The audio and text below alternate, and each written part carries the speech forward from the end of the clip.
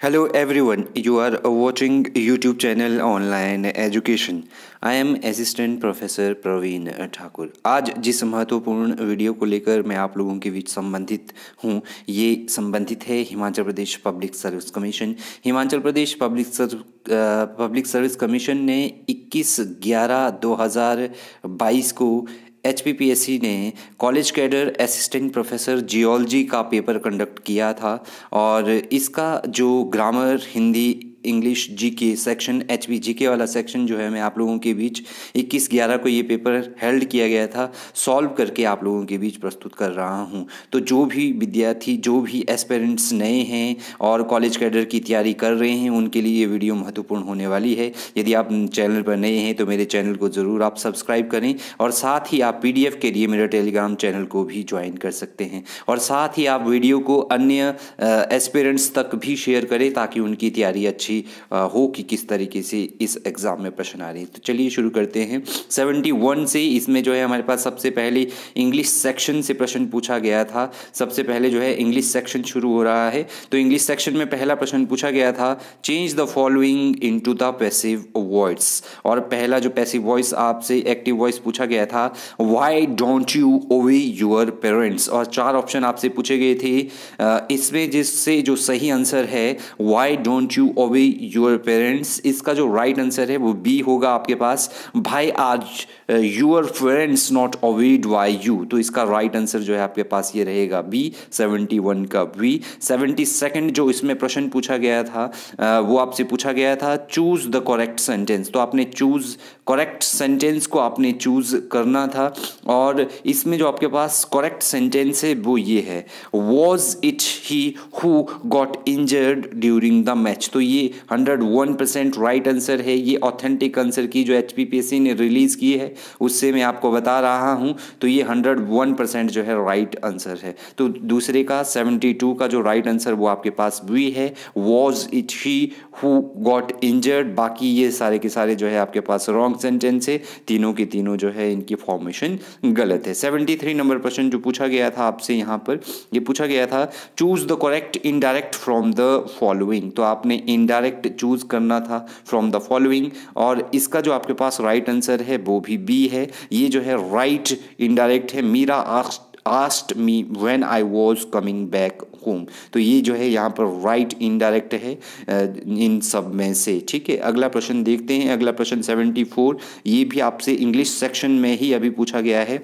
Which of the following explains the given expression और जो आपके पास एक्सप्रेशन है हरी इज़ एन इम्पोस्टर तो 74 का जो आपके पास राइट right आंसर होगा, वो होगा D he poses to be what he is not ठीक है? तो ये इसका राइट right आंसर है 74 का. 75 नंबर क्वेश्चन पूछा गया था आपसे which of the following convey similar meaning to the given expression और एक्सप्रेशन आप लोगों से पूछा गया था I like her because she is a kind hearted person तो 75 का जो राइट right आंसर रहेगा रहेगा, वो ए रहेगा आंसर की के according she is a kind hearted person for which I like her तो ये इसका जो है राइट right आंसर है, बाकी सारे के सारे ये जो है रॉन्ग एक्सप्रेशन है इसके। ठीक है seventy five number seventy six number प्रश्न जो है आपसे अरेंज करने के लिए पूछा गया था। Arrange the following jumble parts into a meaningful sentence तो सबसे पहले आपसे पी में पूछा गया था प्यू पी में पूछा गया था एंड ब्रॉन्चिट्स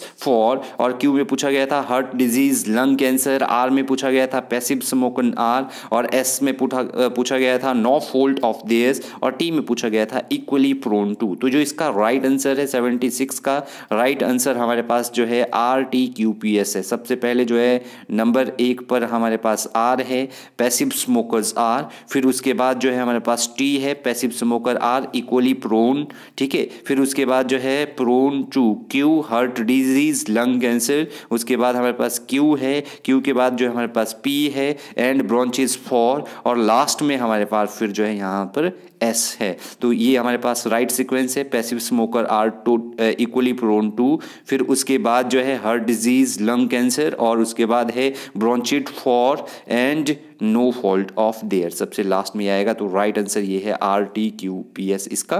ठीक है, अगला जो प्रश्न इसमें पूछा गया था असिस्टेंट प्रोफेसर जियोलॉजी और इसमें सीरीज़ कोई भी नहीं है सीरीज़ एक ही है इसकी। ठीक है तो ये कंडक्ट हुआ था इक्कीस ग्यारह को। तो इसमें जो अगला प्रश्न पूछा गया था choose the option which explain the given expression तो इस गिवन एक्सप्रेशन का आंसर कौन सा? आपसे पूछा गया था। Sulochana is such agile athlete तो 77 का जो आपके पास राइट right आंसर है, वो रहेगा। A she is quick and active ये जो है राइट right एक्सप्रेशन है, इसका Sulochana is such agile athlete ठीक है 78 नंबर प्रश्न अब आ रहे हैं हम हिंदी सेक्शन में। हिंदी सेक्शन में जिस तरीके के आपसे प्रश्न पूछे गए हैं, पहला प्रश्न पूछा गया है, शुद्ध शब्द का विकल्प चुने। ठीक है तो जो आपके पास यहाँ पर शुद्ध शब्द है, वो है बी। विशिका ये जो है आपके पास राइट आंसर यहाँ पर रहेगा शुद्ध शब्द का। और 79 नंबर जो आपसे प्रश्न पूछा गया था, वह संध्या समय गंगा किनारे जाता है। रेखांकित पद कारक किस भेद का उदाहरण है? तो जिस भेद का ये उदाहरण है 79 का राइट आंसर है अधिकरण। अधिकरण भेद का ये उदाहरण है। ठीक है 80 नंबर प्रश्न पूछा गया था आपसे। एटी नंबर प्रश्न पूछा गया है, निम्नलिखित किस वाक्य में निजवाचक सर्वनाम का प्रयोग हुआ है? एटी नंबर प्रश्न पूछा गया है, इसका जो राइट आंसर है आपके पास वो है, आप भला तो जग भला। तो आप भला तो जग भला में निजवाचक सर्वनाम का प्रयोग हुआ है। 81 नंबर प्रश्न पूछा है, वह अत्यंत भीरू है। रेखांकित पद क्या है इसमें? तो 81 का जो आपके पास राइट आंसर है, वो है सी इसमें प्रविशेण जो है, प्रविशेषण जो है, ये इसमें अत्यंत भीरू में रेखांकित पद है। 82 नंबर प्रश्न पूछा गया था इसमें आपके पास जिन पदों या अवयवों के मेल में एक मुख्य वाक्य में या एक या एक से अधिक आश्रित उपवाक्य जोड़े जाते हैं, उन्हें क्या कहते हैं? तो जिन पदों या अवयवों के मेल से एक मुख्य वाक्य या एक अन्य एक या एक अधिक आश्रित उपवाक्य जोड़े जाते हैं। उन वाक्यों को जिस चीज़ का नाम दिया जाता है, उन्हें व्याधिकरण या समुचय बोधक वाक्य का नाम दिया जाता है। अगला प्रश्न जो पूछा गया था, इसमें ये पूछा गया था हिंदी सेक्शन से, पाठशाला पठन के लिए इस वाक्य में पाठशाला क्या है? तो पाठशाला पठन पाठन के लिए है।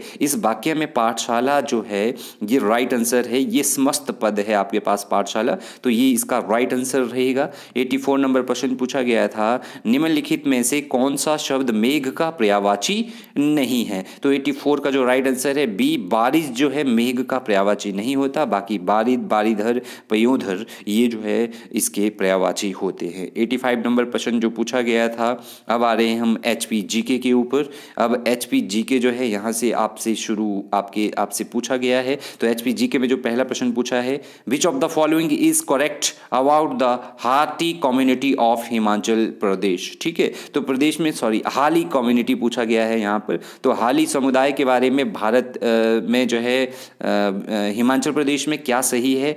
हिमाचल प्रदेश में हाली समुदाय के बारे में क्या सही है वो आपने बताना था। तो 85 का जो राइट आंसर है, वो ये ये अधिकतर चंपा ज़िले से हैं। तो हाली समुदाय के बारे में पूछा गया है, ना कि हाटी हाटी सिरमौर में है, ठीक है? नेक्स्ट जो प्रश्न पूछा गया है आपसे एटी सिक्स नंबर प्रश्न पूछा गया है हिमाचल जी में। हिमाचल प्रदेश प्रदेश के निमन में से किस ज़िले में कुमारवाहा झील स्थित है? तो कुमारवाहा झील जो है, ये हिमाचल प्रदेश के मंडी ज़िले में स्थित है, ठीक है? 86 का जो राइट आंसर है, वो डी रहेगा हमारे पास।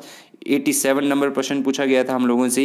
हिमाचल प्रदेश के कुल्लू के निमन में से उस राजा का की सही पहचान करें, जिसके समय मूर क्राफ्ट वहाँ गया था। तो आपने आइडेंटिफाई करना था हिमाचल प्रदेश के कुल्लू के निमन में से उस राजा की सही पहचान, जिसके समय में मूर क्राफ्ट वहाँ गया था। तो 87 का जो राइट आंसर है हमारे पास, वो है सी राजा अजीत सिंह के समय जो है मूर क्राफ्ट वहाँ आया था। ठीक है 88 नंबर जो प्रश्न पूछा गया था, ये भी हिमाचल प्रदेश जी से संबंधित है।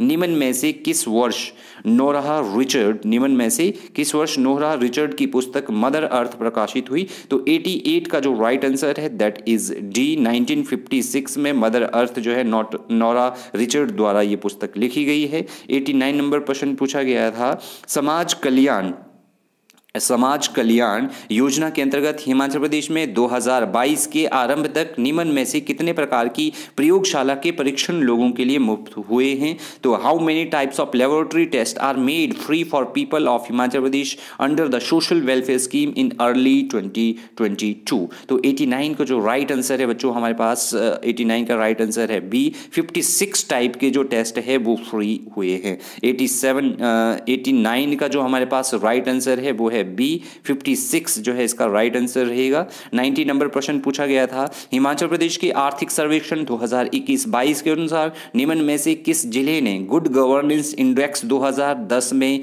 शीर्ष स्थान प्राप्त कर लिया है? तो जिस ज़िले ने गुड गवर्नेंस इंडेक्स में इंडे आर्थिक सर्वेक्षण 2021-22 में शीर्ष स्थान प्राप्त किया है, ये जिला है हमीरपुर। हमीरपुर जो है राइट आंसर है, जो इकोनॉमिक सर्वे में 2021-22 में गुड गवर्नेंस में पहला स्थान प्राप्त किया है। 91 नंबर प्रश्न पूछा गया था, हिमाचल प्रदेश के बजट 2022-23 में निम्न में से कितने प्रतिशत के आर्थिक विकास का अनुमान किया गया है? Which of the following percentage of economic growth is projected in Himachal Pradesh budget 2022-23 तो इसका जो राइट right आंसर है हमारे पास दैट इज़ सी 8.03 जो है, इसका राइट right आंसर है हमारे पास, आठ दशमलव तीन प्रतिशत। तो नाइन्टी टू नंबर प्रश्न पूछा गया था, निम्न में से उस वर्ष की पहचान करें, जिसमें से जिसमें हिमाचल प्रदेश विधानसभा में पहली बार महिला स्पीकर नियुक्त हुई। तो आपने उस वर्ष को बताना है, जब हिमाचल प्रदेश विधानसभा में पहली महिला स्पीकर नियुक्त हुई तो 92 का जो राइट आंसर है, वो है हमारे पास 1985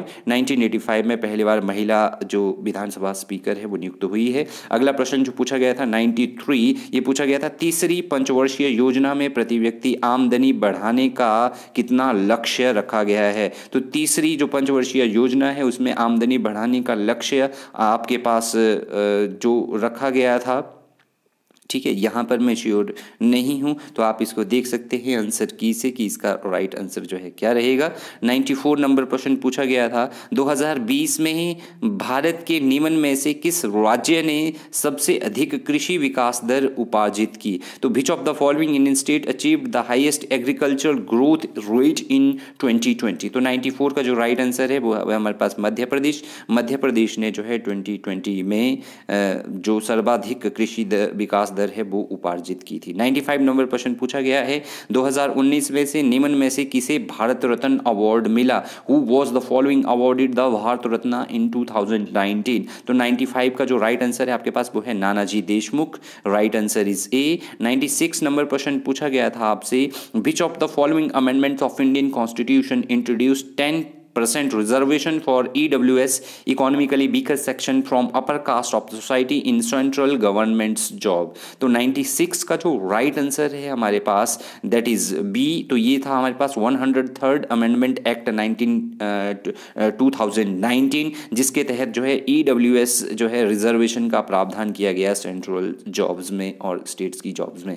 97 नंबर प्रश्न पूछा गया था, द्वितीय विश्व युद्ध 1945 के अंत में किस देश का दूसरा सबसे बड़ा साम्राज्य था which was the following country had the second largest empire in the end of the second world war 1945 तो 97 का राइट आंसर जो है फ्रांस है। फ्रांस का जो है दूसरा सबसे बड़ा साम्राज्य। था।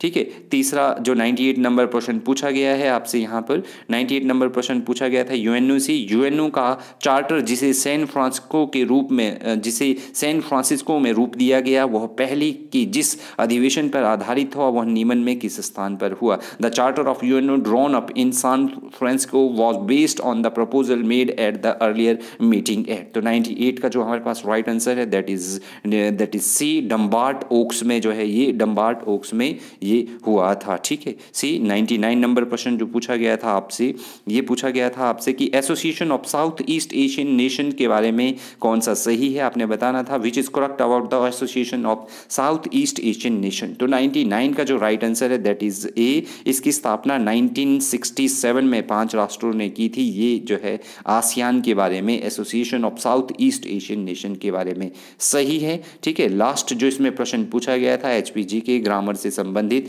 वो पूछा गया था identify from the following the correct date and the year of announcement of Central Bank of Sri Lanka expressing inability to repay the foreign डेप्ट तो श्रीलंका के केंद्रीय बैंक द्वारा दी गई निम्न में से उस घोषणा की तिथि तथा वर्ष बताएँ जिसमें उसने विदेशी कर्ज लौटाने में अस, अपनी असमर्थता व्यक्त की थी। तो सौ का आंसर जो हमारे पास डी है। चार अप्रैल 2022 को श्रीलंका का जो केंद्रीय बैंक है उसने जो है ये घोषणा की तिथि तथा वर्ष जो है उन्होंने ये चार अप्रैल 2022 को उन्होंने विदेशी कर्ज लौटाने में अपनी असमर्थता व्यक्त की थी तो इसका राइट आंसर जो है हमारे पास डी रहेगा। तो थैंक यू वेरी मच बाकी पेपर के लिए मेरे चैनल को आप सब्सक्राइब ज़रूर करें। Thank you thank you